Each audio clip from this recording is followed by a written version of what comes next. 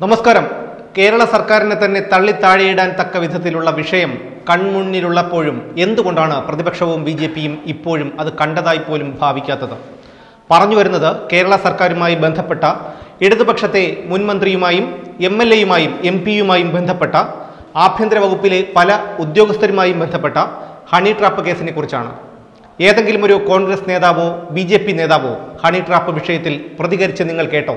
മുഖ്യമന്ത്രിയുടെ special private secretary മോഹനനും മുൻമന്ത്രി കടകംപള്ളി സുരേന്ദ്രനും കനൽത്തരി എം പിയും സിനിമാ നടൻ എം എൽ എയും എസ് ഐ സി ഐ റാങ്കിൽപ്പെട്ട നിരവധി പോലീസ് ഉദ്യോഗസ്ഥരും അടക്കമുള്ളവർക്ക് അശ്വതി എന്ന തട്ടിപ്പുകാരിയുമായി ബന്ധമുണ്ടെന്നതിന്റെ വ്യക്തമായ തെളിവുകൾ ഭാരത് ലൈവ് പുറത്തുവിട്ടിരുന്നു.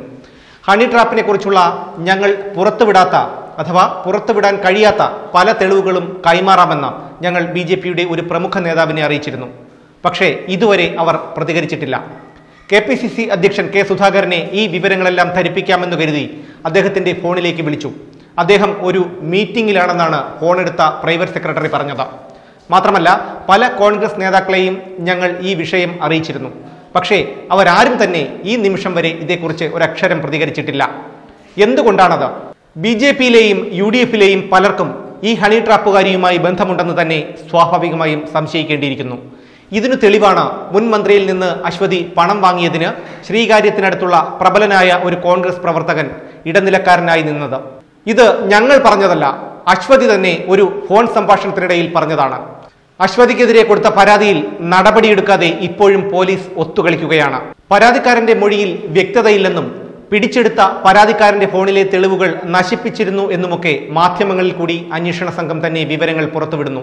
തന്റെ അപകീർത്തിപ്പെടുത്തിയെന്ന തട്ടിപ്പുകാരിയായ അശ്വതി തുമ്പ പോലീസ് സ്റ്റേഷനിൽ പരാതി കൊടുക്കേണ്ട താമസം തൃശൂർ സ്വദേശികളായ രണ്ടുപേരെ തിരുവനന്തപുരത്ത് വിളിച്ചു വരുത്തി മൊഴിയെടുത്തു. സമൂഹ മാധ്യമത്തിലൂടെ തന്നെ അപകീർത്തിപ്പെടുത്തിയെന്ന തിരുവനന്തപുരം സിറ്റി പോലീസ് കമ്മീഷണർക്ക് അശ്വതി പരാതി കൊടുത്തതേയുള്ളൂ എന്നെയും വിളിച്ചു വരുത്തി മൊഴിയെടുത്തു. ഇപ്പോൾ എനിക്കെതിരെ വനിതാ കമ്മീഷനിൽ പരാതി കൊടുത്തിട്ടുണ്ട് എന്നാണ് അറിയാൻ കഴിഞ്ഞത്. വിഷയം ആരും ചിരിക്കരുത്. സ്ത്രീത്വത്തെ അപമാനിച്ചു. പരാതി കൊടുക്കുമ്പോൾ ഒരു മര്യാദയൊക്കെ വേണ്ടേ? ഒരു പരാതി കൊടുത്ത തങ്ങളെ അപമാനിച്ചതിന് വനിതാ കമ്മീഷൻ അശ്വതിക്കെതിരെ കേസെടുക്കാതിരുന്നാൽ അത് അവളുടെ ഭാഗ്യം. ഇതിനിടെ വാട്സാപ്പ് സന്ദേശത്തിലൂടെ അശ്വതി എന്നെയും അസഭ്യം പറയുകയും ഭീഷണിപ്പെടുത്തുകയും ചെയ്തു. പിറ്റേന്ന് തന്നെ ഞാൻ ഇതു സംബന്ധിച്ച പരാതി ഡി ജി പിക്ക് കൊടുത്തു. ഡി ജി പി അത് വട്ടിയൂർക്കാവ് പോലീസ് സ്റ്റേഷനിലേക്ക് കൈമാറി. വട്ടിയൂർക്കാവ് പോലീസ് എന്നെ മൊഴിയെടുക്കാൻ വിളിച്ചു. അശ്വതിയെ വിളിച്ചു നോക്കാം വരുമോ എന്നറിയില്ല എന്നാണ് പോലീസ് പറയുന്നത്. അതായത് ഏതോ പാവപ്പെട്ടവന്റെ വീട്ടിലെ കല്യാണത്തിന് ഒരു വി വി ഐ പിയെ വിളിക്കുന്നത് പോലെ. ആ പോലീസ് ഉദ്യോഗസ്ഥരെ ഞാൻ കുറ്റപ്പെടുത്തുന്നില്ല. കാരണം ഈ അശ്വതിക്കെതിരെ നടപടിയുണ്ടാകാത്തതിൽ പല പോലീസ് ഉദ്യോഗസ്ഥരും അമർഷത്തിലാണ്. കാരണം മുകളിലുള്ള ഉദ്യോഗസ്ഥരെയും രാഷ്ട്രീയ മേലളന്മാരെയും ധിക്കരിക്കാൻ കഴിയാത്ത വിധം നിസ്സഹായരാണ് താഴേക്കിടയിലുള്ള പോലീസ് ഉദ്യോഗസ്ഥർ. പക്ഷേ പോലീസിന് മുകളിൽ സർക്കാരിന് മുകളിൽ കോടതിയുണ്ട്. തെരുവിൽ ചാക്ക് വിരിച്ചിരുന്ന് തെണ്ടിയിട്ടാണെങ്കിലും അശ്വതിക്ക് നിയമം അനുശാസിക്കുന്ന പരമാവധി ശിക്ഷ വാങ്ങിക്കൊടുക്കാൻ ഞാൻ പരമോന്നത കോടതിയായ സുപ്രീം കോടതി വരെ പോകും. ഈ അശ്വതിയും അശ്വതിയുടെ ഇരകളും എന്റെ ആരുമല്ല.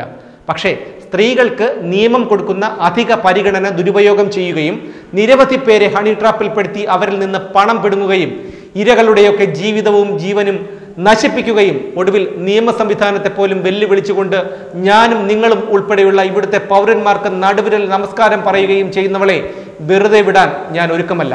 അശ്വതിയെക്കുറിച്ചും അശ്വതിയുമായി ബന്ധപ്പെട്ടവരെക്കുറിച്ചുമുള്ള കൂടുതൽ വിവരങ്ങൾ ഞങ്ങൾ പുറത്തുവിടാത്തത് നിയമ നടപടികൾക്കായി കോടതിയെ സമീപിക്കുമ്പോൾ ആ രേഖകൾ കോടതിയിൽ സമർപ്പിക്കണം എന്നുള്ളതുകൊണ്ടാണ്. കെ സുധാകരൻ സാറും വി ഡി സതീശൻ സാറും കെ സുരേന്ദ്രൻ സാറും ഒക്കെ ഇത് കാണുന്നുണ്ടെങ്കിൽ പാർട്ടിക്കുള്ളിലെ തമ്മിലടി കഴിഞ്ഞിട്ട് കുറച്ചെങ്കിലും നേരമുണ്ടെങ്കിൽ നാടിനെ സംബന്ധിക്കുന്ന പൊതുജനങ്ങളെ സംബന്ധിക്കുന്ന ഇത്തരം വിഷയങ്ങളിൽ കൂടി ഒന്ന് ഇടപെടണം. കഴിഞ്ഞ ക്രിസ്മസിന് തിരുവനന്തപുരം മെഡിക്കൽ കോളേജിനടുത്തുള്ള ആസാദ് ബേക്കറിയുടെ മുന്നിൽ വെച്ച് കേക്ക് വാങ്ങാനായി അശ്വതിക്ക് ആയിരത്തി അഞ്ഞൂറ് രൂപ കൊടുത്ത സ്ത്രീലമ്പടൻ എന്ന് പേരുകേട്ട ഇടതുപക്ഷത്തെ സിനിമാ നടനായ എം എൽ എയെ കുറിച്ചൊക്കെ ഓർക്കുമ്പോഴാണ് മണപ്പുറം ഫിനാൻസിന്റെ പരസ്യവാചകം എത്ര അർത്ഥവത്താണെന്ന് തോന്നിപ്പോകുന്നത്. വീട്ടിൽ സ്വർണം വെച്ചിട്ടെന്തിനാ? നാട്ടിൽ കേടു നടപ്പൂ. അശ്വതിയുടെ വാർത്തകൾ നിലയ്ക്കുന്നില്ല. ഈ ഹണി ട്രാപ്പുകാരിയെക്കുറിച്ചുള്ള അപ്രതീക്ഷിതമായ വാർത്തകളുമായി ഞാനെത്തും ഭാരത് ലൈവിലൂടെ.